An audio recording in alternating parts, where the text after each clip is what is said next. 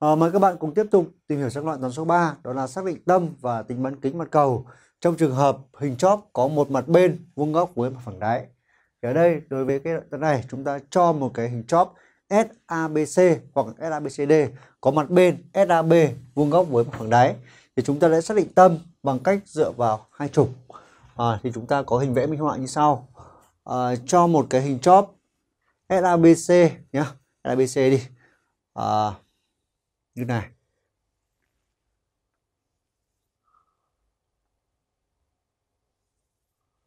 Đây, ví dụ như SABC cho tam giác cho đơn giản nhé Đấy. hình chóp S A B C. Có mặt bên SAB vuông góc với mặt phẳng đáy. SAB vuông góc với ABC đó à, các bạn hãy tìm tâm của mặt cầu ngoại tiếp hình chóp SABC. Thế thì đầu tiên chúng ta sẽ xác định tâm của đáy, đúng không? Tâm của đáy, tâm O. Tâm O. Tuy nhiên tâm sẽ là giao điểm của các đường trung trực rồi. Rồi, như này nhá. Tâm O là giao điểm của các đường trung trực. Thế tiếp tục chúng ta sẽ xác định tâm của ở mặt à, tâm của tam giác tâm trùng ngoại tam giác SAB nhớ rằng SAB vuông góc với ABC thì có một đường thẳng vuông góc AB thì sẽ vuông góc với đáy thì ta dựng ờ, đường trung trực của AB này. Đấy, trung trực AB đây. Được chưa? Đó. Đây rồi nhá. Như này. Ô phẩy là tâm đường tròn ngoại tiếp của tam giác S A, B. Thì bây giờ như này. Các bạn hãy dựng một đường thẳng đi qua O và vuông góc với mặt phẳng ABC. Thì đó, đường thẳng đó chính là trục đường tròn ngoại tiếp. Trục đường tròn ngoại tiếp tam giác ABC. Đó. Tiếp theo, ta sẽ dựng tiếp tục dựng trục đường tròn ngoại tiếp của tam giác SAB, có nghĩa là cái đường thẳng đấy sẽ đi qua ô phẩy và vuông góc với lại mặt phẳng SAB. Khi đó này, đây chúng ta gọi đây là delta 1. Đấy, ví dụ đây là delta 2 được chưa? Mọi điểm nằm trên delta 1 đều cách đều các điểm A, B, C. Mọi điểm nằm trên delta 2 đều cách đều các điểm S, A, B. Như vậy giao điểm của delta 1 và delta 2 là Y. Khi đó IA bằng IB bằng IC và bằng IS luôn nhé. Thế bây việc công việc của chúng ta đã xác định xong cái tâm của mặt cầu ngoại tiếp chóp SABC dựa vào giao điểm của hai trục đường tròn ngoại tiếp Đấy, hai tam giác ABC và SAB. Bây giờ chúng ta sẽ tìm bán kính. Bán kính chính là SI. Ta lại đậm nhá đó đậm bôi đậm lên để tính SI thế việc tính SI như nào? SI thì chúng ta tính như sau. Chúng ta sẽ dựa vào tam giác SIO cái này cũng không thẳng hàng đâu nhá phải vẽ lệch một chút. Đấy. đây. Đấy. tam giác này chắc chắn sẽ vuông tại ô phẩy.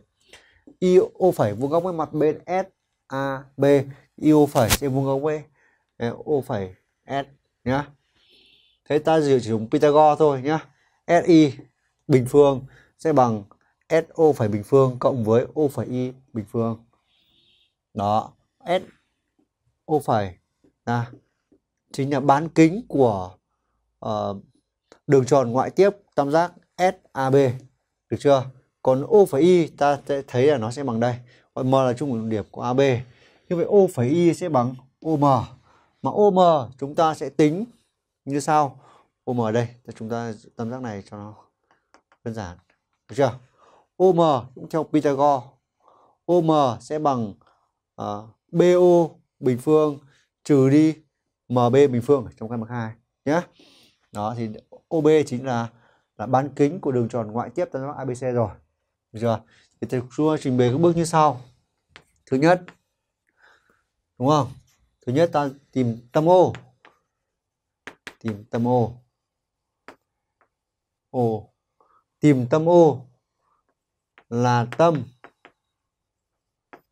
đường tròn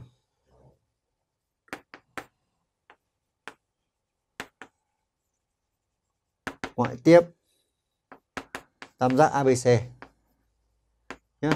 Tìm tâm O là tâm đường tròn ngoại tiếp, tam giác ABC nhé.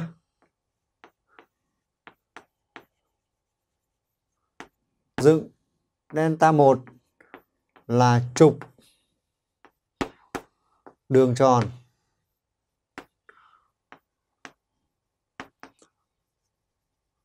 ngoại tiếp tam giác ABC. Đó, delta 1. Tương tự như vậy, ô phẩy là tâm đường tròn ngoại tiếp. Thôi ta viết này nhá. Tâm O, ô phẩy là tâm đường tròn ngoại tiếp đến ABC, SAB. SAB. Đấy, cho nó tiện đúng không? Dựng delta 1 delta 2 là trục đường tròn ngoại tiếp tam giác ABC và tam giác SAB. Đó, được chưa? Delta 1 giao với delta 2 tại Y. Suy ra Y là tâm mặt cầu. Đúng không? Y là tâm mặt cầu ngoại tiếp. Khối chóp S A B, C. Đúng không? Bây giờ chúng ta sẽ tìm cách tính R nhé.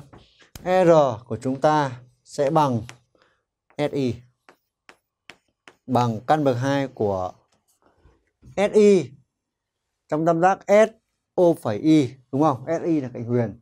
Như vậy nó sẽ bằng O phẩy S bình phương cộng với O phẩy S bình phương cộng với O phẩy Y bình phương và bằng tiếp căn bậc 2.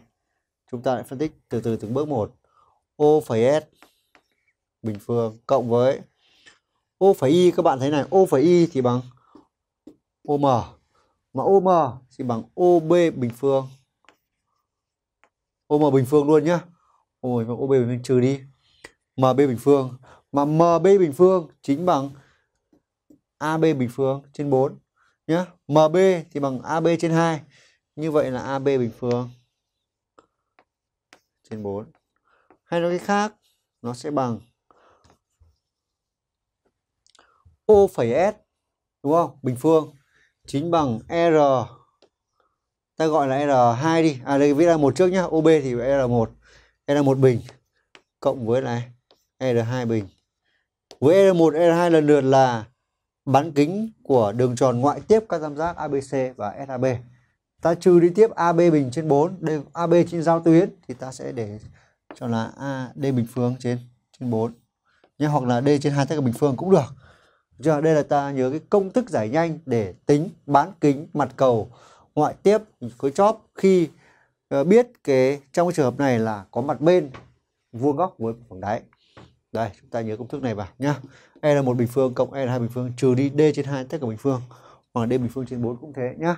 Rồi ok. Bây giờ chúng ta sẽ cụ thể ví dụ một số uh, trường hợp cụ thể của cái dạng này nha. Ta vào cái ví dụ 1. Chúng ta cùng tìm hiểu ví dụ số 1.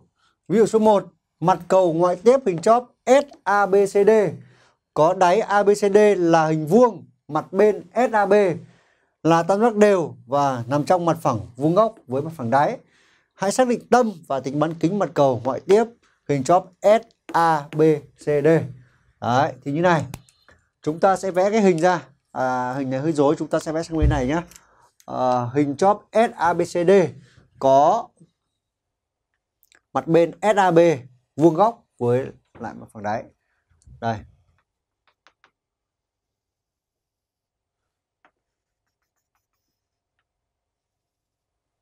Đây nhá ta sẽ xác định tâm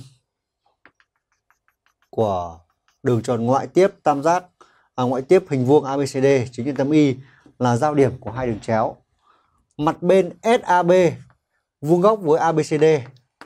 A B C D thì chắc chắn là cái đường thẳng mà vuông góc với giao tuyến AB thì cũng sẽ vuông góc với mặt phẳng ABCD.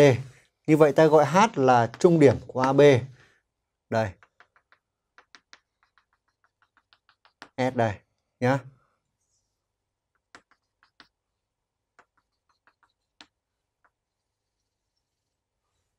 Đấy, vẽ hình như này. S A B C D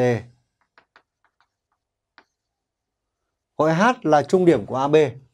Khi đó SH sẽ vuông góc với mặt phẳng ABCD. Thì bây giờ chúng ta thấy này, chúng ta đã có tâm Y là tâm đường tròn ngoại tiếp của hình vuông ABCD. Như vậy từ Y ta sẽ dựng một đường thẳng vuông góc với mặt phẳng ABCD. Đường thẳng này chính là đường thẳng delta. Delta này sẽ là trục đường tròn ngoại tiếp tam giác à, ngoại tiếp hình vuông ABCD. Tiếp tục chúng ta sẽ tìm tâm của đường tròn ngoại tiếp tam giác SAB chính là trọng tâm hoặc là tâm đường giao điểm các đường cao, đường phân giác, đường trung tuyến đều là giống nhau vì tam giác AS, AB là tam giác đều rồi. Là để trọng tâm để tính toán cho dễ nhé. G là trọng tâm của tam giác SAB. G đây nhá. Từ G, ta kẻ một đường thẳng vuông góc với mặt bằng à, mặt phẳng SAB. Đây. Đây là gì nhỉ? Hình à, đây là D nhá. Thì đây là là O nhá. Delta và và D giao nhau tại O. Khi đó, O là điểm cách đều tất cả các đỉnh của hình chóp và O chính là tâm mặt cầu ngoại tiếp chóp SABCD. Được chưa nào? Đấy. Công việc tính toán thì cũng vô cùng đơn giản. Chúng ta sẽ tính OS ra nhé. Ta áp dụng công thức như trên vào. Đấy, áp dụng công thức như trên vào. Chúng có rồi đúng không? Hoặc là chúng ta tính bình thường từng bước một cũng ra. Không nhất thiết phải dùng ngay công thức nhé. Đấy. Chúng ta nhớ công thức này. R sẽ bằng R1 bình phương cộng E là hai bình phương trừ đi D trên 2 tất cả bình phương. Khi đó ta thấy này, bán kính của mặt cầu chính bằng SO. Mọi nhìn SO này, SO đây nhá. SO sẽ bằng uh, căn bằng 2 của SG bình cộng với GO bình. SO nhá, bằng SG bình phương cộng OG bình phương trong căn bằng 2. Được chưa? SG bình phương để nguyên này, GO nhìn thấy GO chưa? GO thì chính bằng HI. Đấy. HI mà HI thì bằng bằng nửa của AD rồi, đúng không? Bằng cạnh cạnh bằng A rồi thì chúng ta cũng rất là đơn giản để tính toán nó thôi. Đến đây là được rồi, nhá. Rồi, bây giờ chúng ta tiếp tục chuyển sang ví dụ số 2 ví dụ 2 ví dụ 2 là một cái bài toán cho mặt cầu ngoại tiếp hình chóp SABC có đáy ABC là tam giác vuông tại A. Tam vuông nhá. Mặt bên SAB là tam giác đều và nằm trong mặt phẳng vuông góc với đáy. Ta sẽ mượn cái hình vẽ trong này luôn rồi. Nó cũng chắc là hình này đơn giản hơn, được chưa? Ở chúng ta phân tích luôn nhá. Đấy. Mặt bên SAB là ta mắc đều nhá. Tam ABC ta mắc vuông tại A rồi. Khi đó ta thấy này. Khi đó, tâm đường tròn ngoại tiếp tam giác ABC chính là trung điểm của của BC vì tâm đường tròn ngoại tiếp tam giác chính là trung điểm của cạnh huyền nhá. Từ y này ta dựng một đường thẳng vuông góc với ABC à, được delta đây. Tiếp tục ở bên cái tam giác SAB là tam giác đều rồi. Thì G là trọng tâm của tam giác SAB cũng là tâm đường tròn ngoại tiếp luôn. Từ G sẽ kẻ một đường thẳng qua G vuông góc với SAB cái đường thẳng đấy là D D cắt delta tại O. Thì O chính là tâm cầu. Nhá O chính là tâm cầu. À, ta chú ý này. H là trung điểm AB này. Đấy, được chưa? SH sẽ vuông góc với ABC có Y là trung điểm của BC nhá. Đấy. đường thẳng delta đi có Y và vuông góc với ABC là trục đường tròn của trục của tam giác ABC nhá. Trục tròn ngoại tiếp tam giác đáy, được chưa? G là trọng tâm của tam giác SAB thì đường thẳng đi có G, vuông góc SAB nhá. Và là trục của mặt bên SAB ok rồi. O là giao điểm của delta và và D. Khi đó cắt nhau hai đường thẳng cắt nhau tại O thì O sẽ chính là tâm mặt cầu ngoại tiếp. Hình chóp SABC Đấy. việc tính thì chúng ta dựa vào công thức này thôi nhá. Việc tính toán chúng ta cũng thấy rất là đơn giản thôi nhá. Bán kính này. Bán kính là R bằng SO đây SO đây. Hiểu chưa? SO nhá. SO sẽ bằng căn bằng 2 của SG bình. SG bình đây này, SG bình cộng với G GO bình phương.